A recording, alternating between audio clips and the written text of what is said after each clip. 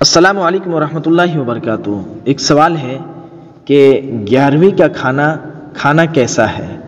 कुछ लोग ग्यारहवीं के नाम पर जो है खाना पकाते हैं और लोगों को खिलाते हैं तो ऐसा खाना खाने का और खाना पकाने का क्या हुक्म है?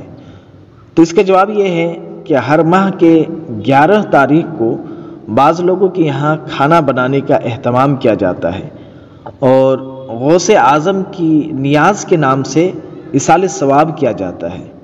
ये खाना अगर पीरान पीर की ही नज़र के तौर पर हो तो हराम और गैरुल्लाह के नाम की कुर्बानी में शामिल है। और अगर सिर्फ़ इसाल सवाब मकसद हो तो ये खाना हराम तो नहीं होगा, लेकिन ख़ास ग्यारहवीं तारीख का मुतन करके खिलाना और इसका इल्तज़ाम करना बिदात और नाजायज़ है। ऐसा खाना खुद खाने के बजाय किसी मुस्तक को दे दिया जाए ये ज़्यादा बेहतर है। वालकम वरहमल वर्का